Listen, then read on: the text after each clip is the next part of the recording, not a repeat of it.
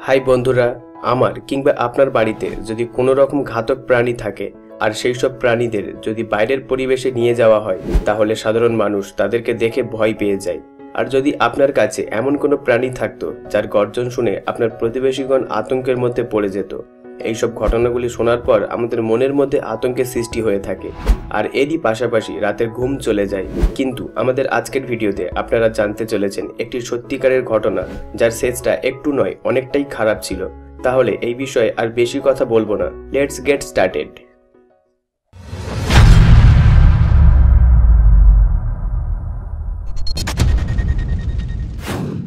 এই ঘটনা একটি পরিবারকে নিয়ে আর এই পরিবারের নাম বারবার অফ। ল্যাভ এবং নিনা তারা দুজনে মিলিত হয়ে দুটি সিংহকে তাদের বাড়িতে রাখে। দুটি সিংহকে তারা আদরের সঙ্গে বড় করে তোলে। এই সত্যিকারের গল্পটা শুরু হয় যখন একটি অচেনা মানুষ তাদের বাড়ির বাইরে একটি নেকড়ের বাচ্চাকে রেখে দিয়ে গিয়েছিল। কিন্তু ল্যাভ এবং নিনা পশুদের সম্বন্ধে খুব বেশি জানতো না, তাই নেকড়ের বাচ্চাটিকে তারা চিড়িয়াখানায় দিয়ে আসে। নেকড়ের বাচ্চাটির নাম রেখেছিল টমকা। এবং নেকড়ের বাচ্চাটিকে দেখার জন্য তাদের বাড়ির পাশে অবস্থিত চিড়িয়াখানায় যেত। তাদের ছোট্ট মেয়ে ইভা একটি সিংহের বাচ্চাকে সেখানে দেখতে পাই যে বাচ্চাটিকে তার মা ছেড়ে দিয়েছিল। আপনাদের হয়তো বিশ্বাস হবে না, বারবার পরিবার কোনো প্রকারে চিড়িয়াখানার ম্যানেজারকে মানিয়ে নেয় এবং সিংহের বাচ্চাটিকে তাদের বাড়িতে নিয়ে আসে। বাচ্চা সিংহটির নাম দেওয়া হয়েছিল কিং। সিংহটিকে শুরুতে শুধুমাত্র দুধ পান করানো হতো, কারণ সে এতটাই ছোট্ট ছিল, যার ফলে সে অন্য কিছু খাবার খেতে পারতো না। আর একটু বড় হওয়ার পর সিংহটিকে মাংস খাওয়ানো শুরু করা হলো। এক কথায় বলতে হয়, এই অসহায় সিংহটি এক নতুন জীবন ফিরে পায়। কিছু সময়ের জন্য কিং তার পায়ের কার্যক্ষমতা হারিয়ে ফেলে, কিন্তু ওই ফ্যামিলি তার পায়ে মালিশ করতে থাকে এবং পরবর্তীতে সে আবার হাঁটা শুরু করে। সময় অগ্রগতির সাথে সাথে সিংহটি বড় হতে লাগল এবং এক প্রাপ্তবয়স্ক সিংহে পরিণত হলো। বাট তারপরেও একটি সমস্যা ছিল, সিংহটি বড় হওয়ার পর তার আচার ব্যবহার বিড়ালের মতো ছিল। সে বাচ্চাদের সঙ্গে খেলাধুলা করতে বেশি পছন্দ করত আর বাড়িতে আসা প্রত্যেক অজানা মানুষকে তার জিপ দিয়ে চাঁটত। সোশ্যাল মিডিয়ায় সে বেশ ভালোই চর্চিত হয়েছিল আর প্রত্যেকে তাকে খুব ভালো সিংহ বলে সার্টিফিকেট দেয়। এই ঘাতক প্রাণীদের এইভাবে ট্রেন্ড করা, যেটা সত্যিই একটি ভয়ানক বিষয় ছিল। এছাড়াও বারবার পরিবারের প্রতিবেশী পুলিশের কাছে তাদের বিষয়ে কমপ্লেন জানায়। কারণ কিং গভীর রাত্রিতে উঠে গর্জন করত, যার ফলে বারবার পরিবারের সঙ্গে সকল প্রতিবেশী উঠে পড়ত। এত কিছুর পরেও প্রত্যেক দিন সকালে সিংহটিকে বাইরে ঘুরতে নিয়ে যাওয়া হতো, যার ফলে আশেপাশের লোক তাদের বাড়ির মধ্যেই থাকতে পছন্দ করত, শুধুমাত্র ভয়ের কারণে। কারণ আমরা কেউই চাইব না একশো পঞ্চাশ কিলো ওজন বিশিষ্ট সিংহ আমাদের পিছনে পড়ুক। পরবর্তীতে যখন কিং বড় হয়ে গেল, তখন পরিবারের সকল সদস্য সিদ্ধান্ত নিল, সিংহটিকে চিড়িয়াখানায় ফেরত দিয়ে আসবে। কিন্তু এটি সম্পূর্ণ অসম্ভব ব্যাপার ছিল। কারণ সিংহটি পরিবারের সকল সদস্যের সঙ্গে সম্পূর্ণ মিশে গিয়েছিল, যার ফলে বারবার পরিবারকে সিংহটি তাদের সঙ্গেই রাখতে হলো।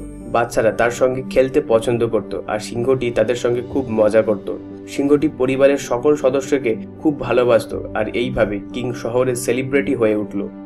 তাকে একটি সিনেমাতে কাজ দেওয়া হয়েছিল, যার নাম ছিল আনপ্লিয়েবল adventurous of Italian and Russia এত কিছুর পরেও কেউই কল্পনা করতে পারিনি এই সিংহটির ঘটনা সম্পূর্ণ পাল্টে যাবে। সিনেমাটি উনিশশো তিয়াত্তর সালে শ্যুট হয়েছিল আর শুটিংয়ের সময় পুরো পরিবার তার সঙ্গে ছিল আর তাদের থাকার জন্য একটি গোটা স্কুল দেওয়া হয়েছিল। আর একটি গাড়িতে লাউড স্পিকার লাগিয়ে সমগ্র শহরটিতে ঘুরত এবং সকলকে সতর্ক করত যে স্কুলের মধ্যে একটি সিংহ আছে, তাই স্কুল থেকে যেন সকলেই দূরত্ব বজায় রাখে। কিন্তু এই রকমের সতর্ক বার্তা বিফলে যায় এবং একটি দুর্ঘটনা হয়।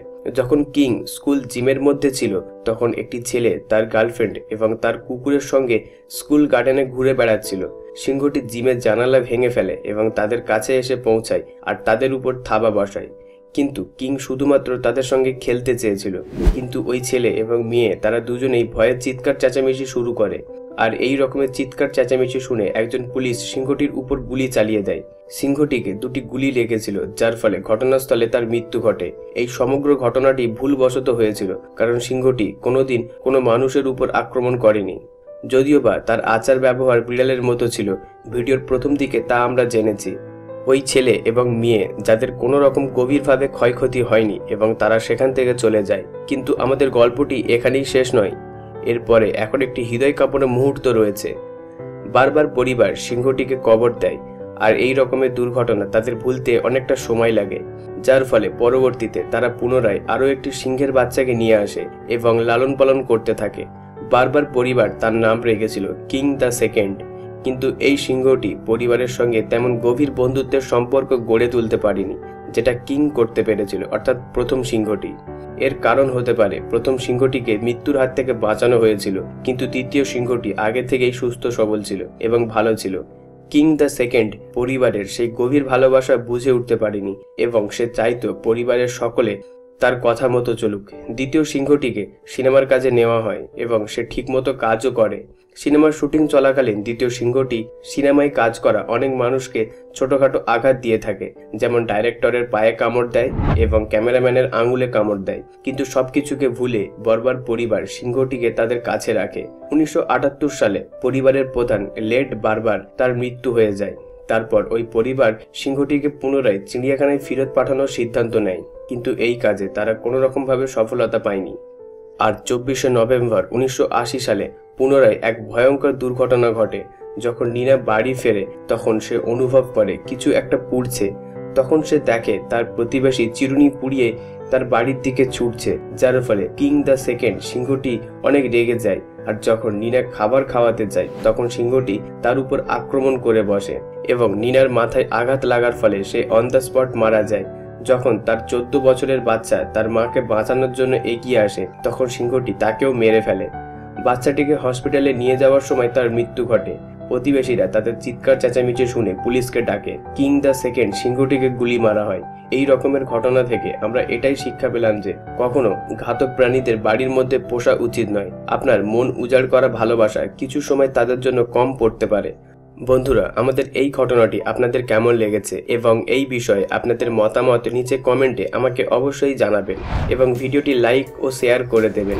আর আপনাদের মধ্যে যদি কেউ নতুন ভিউয়ার হয়ে থাকেন, তাহলে এখনই আমাদের চ্যানেলটিকে সাবস্ক্রাইব করে নেবেন। আর পাশে রাখা বেল আইকনটি ক্লিক করতে ভুলবেন না, যার ফলে এই রকমই সকল নতুন ভিডিওর নোটিফিকেশন সবার আগে পৌঁছে যাবে আপনার কাছে। সর্বশেষে thanks for watching stay happy enjoy all the moment